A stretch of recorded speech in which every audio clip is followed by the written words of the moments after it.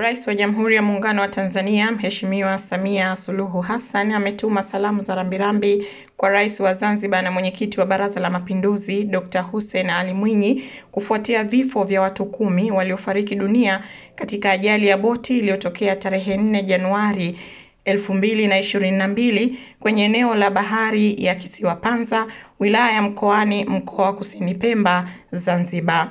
Kwa mujibu wa kamanda wa polisi wa mkoa wa Kusini Pemba, Richard Tadei Mchomvu, watu hao walikuwa wanatoka Chake Chake kuelekea kwenye mazishi katika Kisiwa Panza, wilaya ya Mkoani, mkoa wa Kusini Pemba.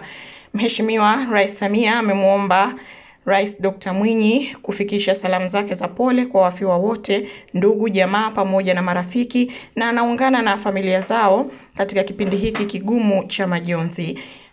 Aidha, Mheshimiwa Rais Samia Suluhu pia amewaombea kwa Mwenyezi Mungu aziweke roho za marehemu mahali pema peponi. Amin.